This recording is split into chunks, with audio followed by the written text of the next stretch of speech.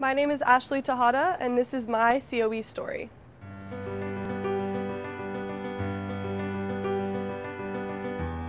I'm currently in the PELSA program. I am an alum of the Leadership Minor program and currently Associated Students President.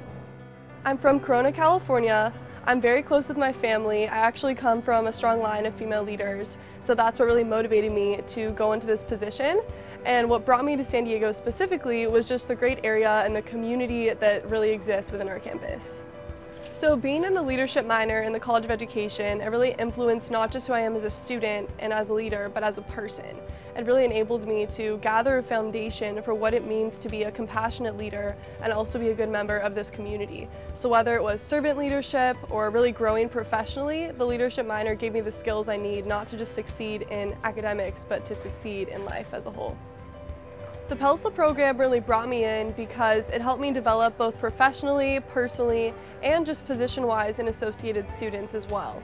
It was able to help me develop both inside and outside of the classroom, so currently being in this program, it's nice that there's the ability to make an impact and it really builds you to go into higher education, but also just become a better member um, on campus.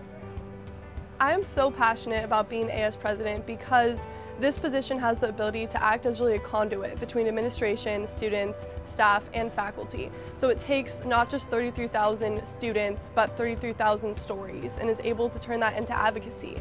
So being able to act in this position and really communicate student needs and concerns, make an impact on the student experience, whether that's academic or outside of the classroom and student life, it's something I'm really passionate about and really makes me the person I am today. Although I'm not quite sure where my SDSU journey will take me, what I do know is I want to continue to engage in positive change. And this university has provided me with a platform to do that, that I hope continues to carry with me throughout the rest of my life.